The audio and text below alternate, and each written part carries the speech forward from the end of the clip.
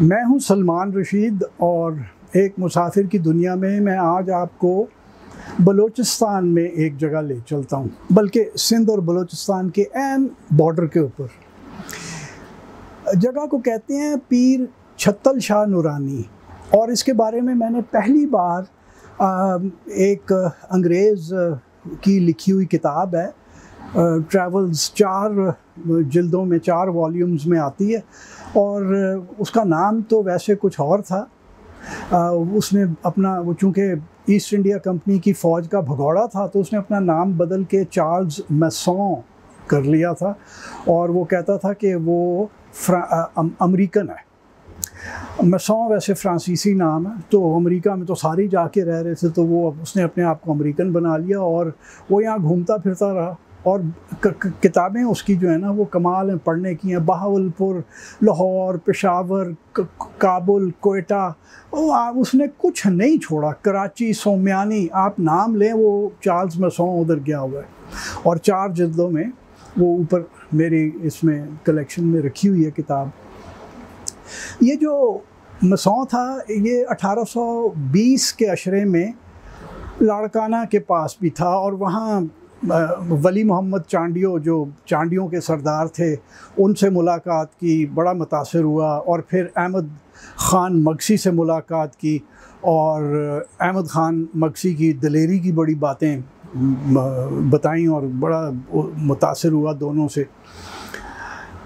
और उसने एक ज़िक्र किया कि जी, यहाँ से अगर आप मक्सियों का इलाका गंदावा था चांडियों का इलाका लाड़काना था और ये गंदावा का जो ज़िला है बलूचिस्तान का, वो लाड़काना से बिल्कुल जुड़ा हुआ है, उसका आपस में उनकी बॉर्डर उनका बॉर्डर मिलता है। तो ये जो मसों था, इसने कहा कि जनाब यहाँ से आप जब मूला पास की तरफ़ जाते हैं, और मूला पास की भी हम आपको कभी ना कभी एक दास्तान सुनाएँगे ये जो मूला पास है, ये कलात खुजदार को बलूचिस्तान के अंदर यहाँ पे मैदानों में गंदावा, जो कि बलूचिस्तान का एक ज़िला है, और लाड़काना, जो कि सिंध में है, वहाँ से मिलाती है। तो वो कहता है कि जब आप मूला की तरफ़ जाते हैं तो रास्ते में एक पीर छत्ता आता है, और वहाँ पे लोग ज़्यारत के लिए आते हैं, और बड़ा खेल तमाशा है, मेला वेला, बस इतना छोटा सा ज़िक्र किया। वो जब मैंने पढ़ा तो मुझे हुआ तो मैंने अपने एक दोस्त को पूछा जो कि शादाद कोट लाड़काना की आ, का की तहसील थी पहले उन दिनों में फिर बाद में अब तो कंबर शादाद कोट एक ज़िला बन गया। तो वली मोहम्मद मंगड़हार मेरा दोस्त मरहूम फौत हो गया कई साल हो गए। वली मोहम्मद को मैंने फ़ोन किया मैंने कहा यार ये पीर छत्ता छत्ता क्या है? कहता है नहीं छत्तल शाह नूरानी हम उसे कहते हैं और वहाँ की मछलियाँ बड़ी मशहूर हैं। वहाँ चश्मा है और तालाब है और उसमें मछलियाँ हैं। और बताने वाले बताते हैं कि अगर ये मछली को खाओगे तो अगले दिन पीछे से, समझ जाएँ कहाँ से, पीछे से मछली ज़िंदा साबत सालम पूरी की पूरी निकल आएगी। तो इन मछलियों को कोई नहीं खाता क्योंकि पीर की मछलियाँ हैं ये। और वैसे भी वली मोहम्मद कहने लगा, वैसे भी बलोच जो है ना, वो मछली को कीड़ा समझते हैं, वो इसको खाते नहीं हैं, बलोचों को मछली नहीं पसंद। गो के मैं नहीं मानता, क्योंकि मैं, मेरे बहुत से बलोच दोस्त बड़े शौक से मछली खाते हैं। तो कहने लगा कि ये मछली कोई नहीं खाता। तो 2002 में मैं लाड़काना गया शादाद कोट गया, वली मोहम्मद को साथ लिया, एक थकड़ सी जीप के ऊपर हम बैठे तीन चार दोस्त, और हम हचकोले धक्के खाते हुए, क्योंकि उस वक्त रास्ता नहीं था। बिल्कुल, यानी हम कच्चे रास्ते में ही गए और वो दरमियान में पानी के तालाब भी आए, वो उनके किनारे से जीप को गुजारना पड़ता था। और छतल शाह नूरानी हम पहुँच गए तो खूबसूरत सीन था, जिसे कहते हैं ना प्रिस्टीन मतलब अनक्लटर्ड कोई कूड़ा क्रिकेट नहीं, खूबसूरत जगह। खजूर के भी दरख्त हैं, जंगल जलेबी के भी हैं, कंडी भी लगी हुई है और ये लोहीड़ा भी है और खूब वेजिटेशन थी और पानी की एक नदी बह रही थी जिसमें बेशुमार मछलियाँ और महाशेर, जिसका मतलब जिसने महाशेर खाई हुई है ना, वो फिर और कुछ नहीं खाना माँगता तो यहाँ वो, जो मतवली था उसकी जगह थी और थोड़ा आप आगे जाते थे तो वो नदी के साथ साथ चलते हुए आप ऊपर को जाते थे तो एक गोल तालाब था। और गोल तालाब बस कच्चे उसके किनारे थे और वो एक तरफ़ से चश्मा फूट रहा था जो उसको भरता था और फिर वहाँ से वो छोटी सी जो नदी थी वो चली आती थी। तो आ, मैंने वो कहानी लिखी आके अखबार में। अच्छा कहानी की दिलचस्पी ये है कि आज तो हम हर कोई तुरम खान बना हुआ है ना, मैं भी शामिल हूँ उनमें, तुरम खानों में, कि जी इन्वायरमेंट को बचाना चाहिए, जंगली हयात को बचाना चाहिए, ये करना चाहिए, वो करना चाहिए। ये जो छतल शाह नूरानी की जो कहानी है, ये सबसे कदीम ये मुझे नहीं पता कब से ये, अब यहाँ पे कहानी मुरवज है, इसका रिवाज है और सुनाई जाती है कि मछलियाँ ज़िंदा बाहर आ जाती हैं, अगले दिन नहीं खानी चाहिए ये।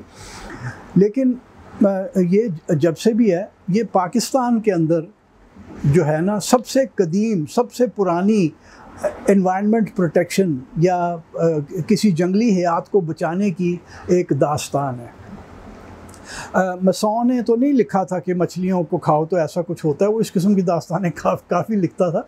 आ, तो लगता है कि उस ज़माने में ये कहानी नहीं थी ये बाद में बनी। तो वहाँ जब हम थे ना तो मछलियाँ देखी तो मेरा तो मुँह में पानी आ गया और महाशेर देख के ख़ास तौर पे मैंने वली मोहम्मद से कहा यार ये इनको पकड़ना इतना आसान है क्योंकि आप जाके खड़े होते थे तो वो आपके करीब आ जाती थी।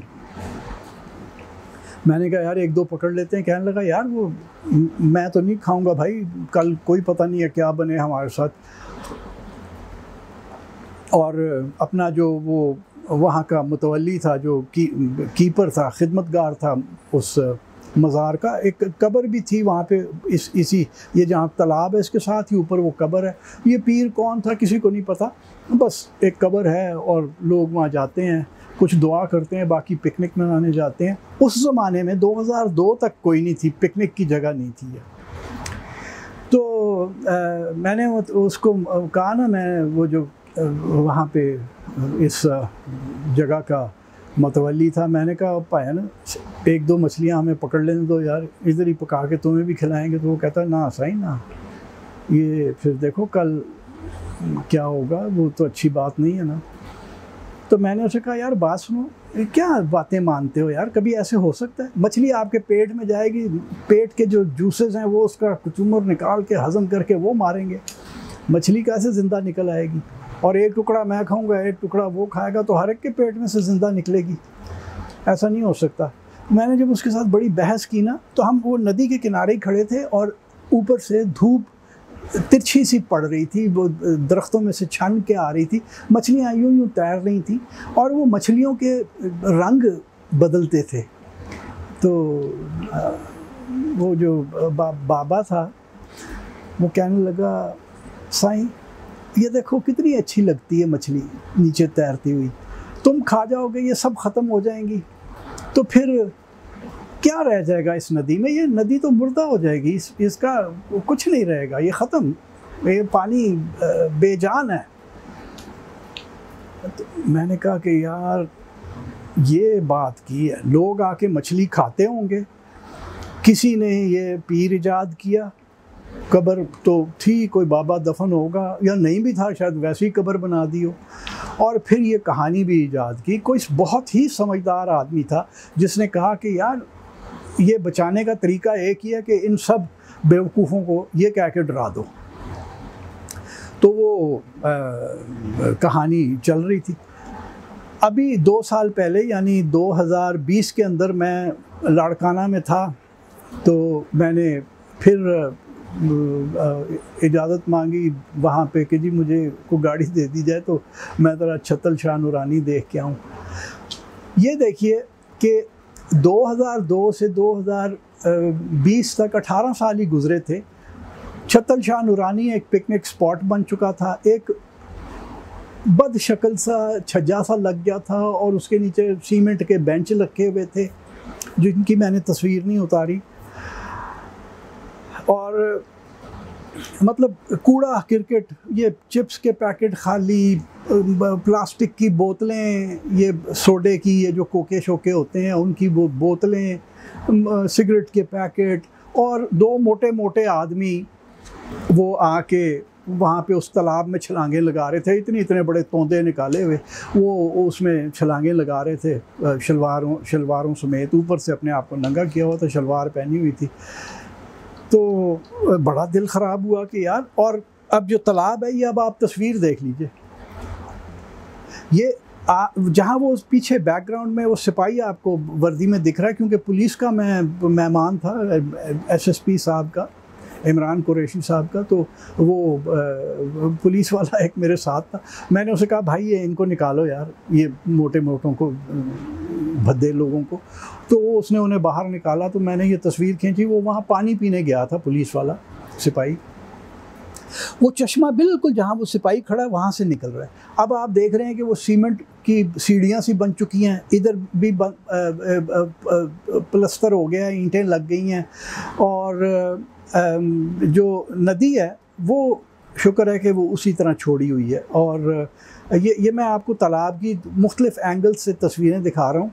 कि ये अब उन्होंने इसका नाश मार दिया है इन अ वर्ड और क्या कहते हैं कि वहाँ वो बेंच भी लग गए और अब लोग सुने वो मुझे बता रहा था, मुजावर जो था, कि जी यहाँ अब काफ़ी लोग पिकनिक करने आते हैं। वो कबर कबर तो भूल ही गई, वो बाबा और पीर तो भूला गया, बस वहाँ लोग अब पिकनिक करने आ रहे हैं। तो खैर नदी में हमने देखा, मछलियाँ अभी भी थीं, लेकिन जैसे पहले जब आप इधर तालाब के पास आके किनारे खड़े होते थे तो मछलियाँ आ जाती थी आपके पास कि शायद आप कुछ डालेंगे उन्हें। अब वो मछलियाँ डरती हैं, क्योंकि वो मोटे पेटों वाले लोग आके उसमें छलांगे लगाते हैं। और कहानी वही है। मैंने मुजावर से पूछा, मैंने कहा, अभी कहानी सुनाते हो लोगों को कहानी नहीं है? कहता, साईं, तभी तो बची हुई हैं। अगर अगर वो कहानी हमने ख़त्म कर दी तो ये वो 20 साल पहले वाले मुजावर का आ, मेरा ख्याल है या छोटा भाई था या बेटा था कुछ इस किस्म का चक्कर था। तो कहता है अगर वो कहानी हम नहीं सुनाएँगे तो ये सब खा पी जाएँगे मछलियाँ। तो अच्छा फिर यहाँ पे जो दिलचस्पी की बात है वो ये ये घंटियाँ टंगी हुई हैं। ये आप देखिए ये तालाब के ऊपर ये घंटियाँ टंगी हुई हैं। ये इस्लाम में इन घंटियों का कोई वो नहीं है। ये जब हम कभी हिंदू होते थे यहाँ और हम भी हिंदू होते थे तो ये तब का एक थ्रो बैक है या आप कहते हैं कि उस वक्त का एक रेलिक है जो छोड़ा नहीं गया। मैंने बहुत से मज़ार देखे जहाँ पे ये इस तरह के टल टांगे हुए होते हैं और वो वो पहले ज़माने से चले आ रहे हैं।